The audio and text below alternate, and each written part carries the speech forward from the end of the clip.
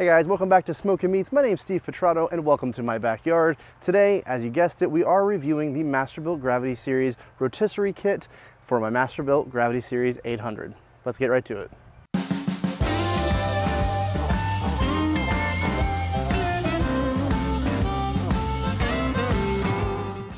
This is perfect for the 560, the 800, and even the 1050. You only have to buy one box. It comes with all three sizes of the spits to fit across your grill and all the mounting hardware. One thing you do need to realize is it does require a separate power source. So if you already have your grill plugged into an outlet and something else there, you do need two plugs to operate both your Masterbuilt power system if you're not running off a battery like me, and you'll need another plug to run off your for your rotisserie kit.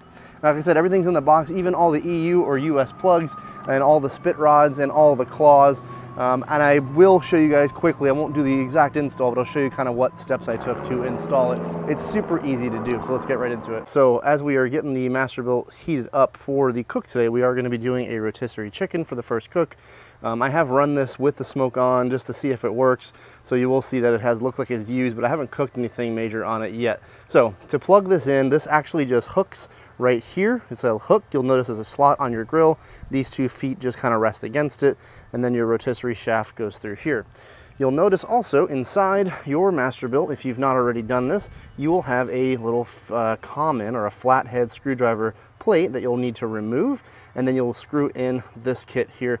It's a collet with a piece behind it, and if I get you guys inside the grill, you can see that piece behind it is actually the drive unit itself, and if I turn on the unit, you'll begin to see that spin right there.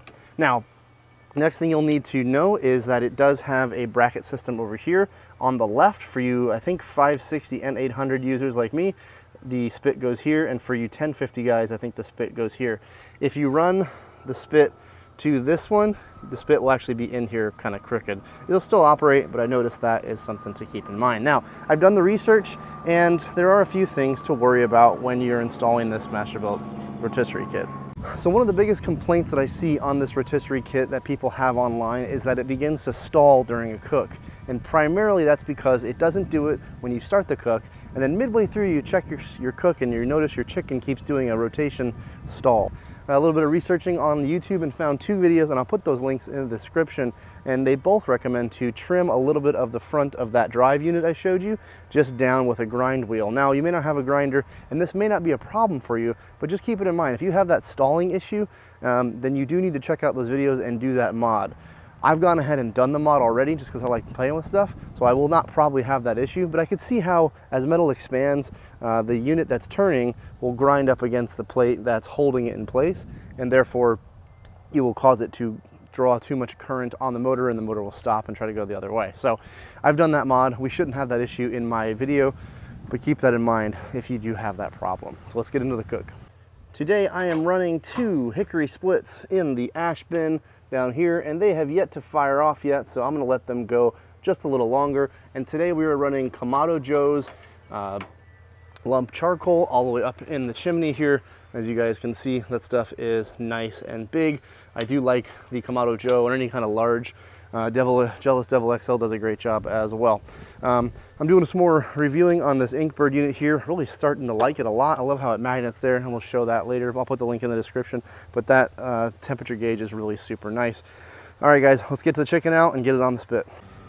All right, for today's cook, I have a fresh Amish chicken that I got from the local supermarket. These are a little more expensive than your standard like Tyson chicken, but I do notice they are much nicer looking birds. I've gone ahead and done three things to this exact bird. I went ahead and first topped it up with some Goldie's brisket rub. This stuff is pretty awesome, even not on brisket. It's got a heavy pepper content, a lot of garlic, that type of thing. I like it a lot.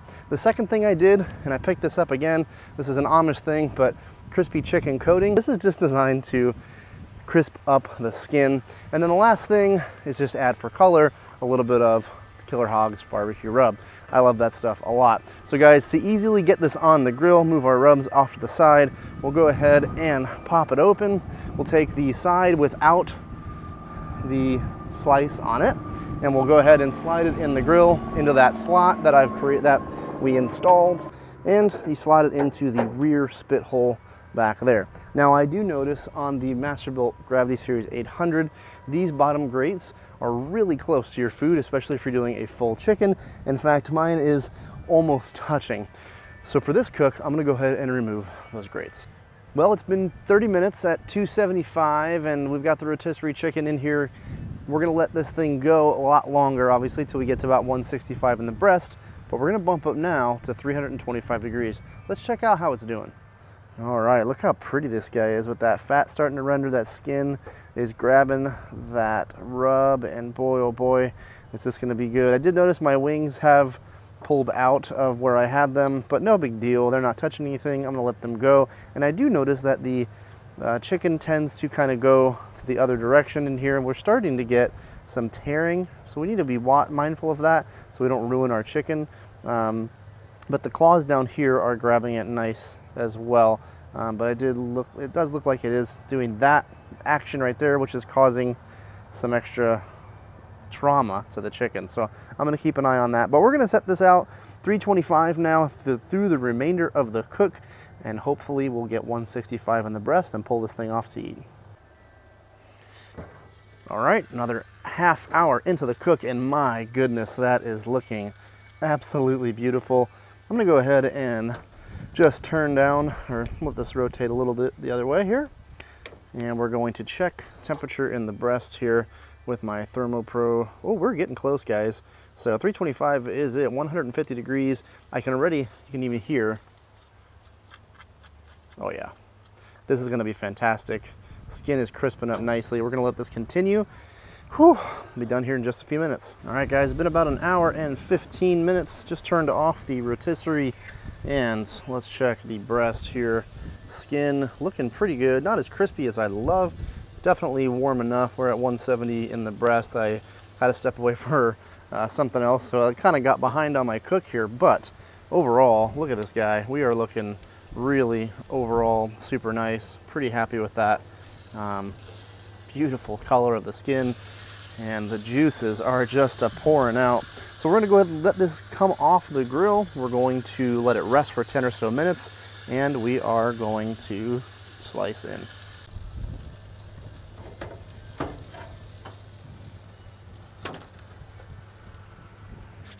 It's time to eat, guys. Got our chicken all rested up. You can see the juices have begun to come out in, in a pretty spectacular manner. Um, and you know, one thing I wanted to point out is with this rotisserie system, you're going to get a really even cook. It's going to redistribute those juices constantly. You saw at the end there as I stopped it and then restarted it, they started to leak out again. That's because they're just constantly spinning around and re-moisturizing this chicken meat. Now, when it comes to the skin, I did get a pretty good, you can kind of hear uh, a good crisp, however, not super crispy, but I will say um, if you turn up the temperature a little bit more, say to 350, 375 towards the end to really get it nice and crispy, it does help a lot. So first things first, I always like to check um, how the legs pull from a chicken. And this one, I think are gonna be, yeah, it's gonna be great. So you can see here, that just yanked right off. And uh, it's dripping right now. Um, really impressive. So I'll pull that aside here. I'm just gonna go ahead and grab a, a slice of this for myself. Yeah, that's fantastic. The seasoning really uh, got through the chicken meat. The smoke is perfect. Wow, that's really good. So next thing is to check the skin. And like I said, at the top here on the breast, um, we got nice crisp. You can kind of hear that. Try that. Yeah, not leathery, a little chewy, a little less crispy as I like, but overall the flavor is really good. That uh, that brisket rub is just fantastic. A little extra flavor there with um, the killer hogs is also really good. So let's go ahead and just chop into the breast. Doing this kind of messy today, just eating by myself. So I'll go ahead and just hack this breast off here. And I like to go a slice down the front and a slice down the side and it'll easily pull a big chunk. Oh man, it's just dripping, dripping. And there you guys go. Check that bad boy out. Looks really good. Go ahead and set that down. Go ahead and chop a nice chunk off here for me. And so far, pretty impressed. Now, I will say, The uh, rotisserie does a great job. Oh my god, guys, the flavor on that is, is fantastic. Typical Masterbuilt, but the juiciness, I mean, that's some of the juiciest chicken I've made on a Masterbuilt. I've done spatchcock, I've done beer can style. This is the is the best of the three. So definitely good. I'm actually not a huge white meat fan typically. It's what the girlfriend usually eats. But that right there is like more liquid than meat. and I didn't brine this. I didn't inject this, which is just straight out of the packaging. Dried it up a little bit. And uh, yeah, really, really good. Mm. Mm -mm -mm. So guys, if you're interested in the Masterbuilt rotisserie system or any of the things I talked about here today, I'll put as many links as I can in the description box. The uh, link to the, to, the, to the rotisserie, everything goes to Amazon pretty much. Uh, it all helps me do this channel and buy meat and do recipes and stuff for you guys. So please think about supporting the channel at no extra cost to you. Those links are in the description. Guys, thanks for tuning in to another episode of Smoking Meats. I hope you liked it. Another success on my Masterbuilt Gravity Series 800. We'll catch you guys on the next one.